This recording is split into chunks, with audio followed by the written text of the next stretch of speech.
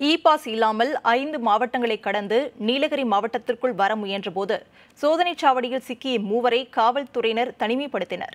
நீலகிரி மாவட்டம் குஞ்சப்பணி சோதனைச் சாவடி வழியாக இ பாஸ் இல்லாமல் இருசக்கர வாகனத்தில் மூன்று பேர் நீலகிரி மாவட்டத்திற்குள் வர முயன்றனர். அவர்களை காவல்துறையினர் மடக்கி பிடித்து விசாரித்தபோது அவர்கள் கடலூர் மாவட்டம் கள்ளக்குறிச்சியில் இருந்து இ பாஸ் இல்லாமல் வந்தது தெரிய வந்தது.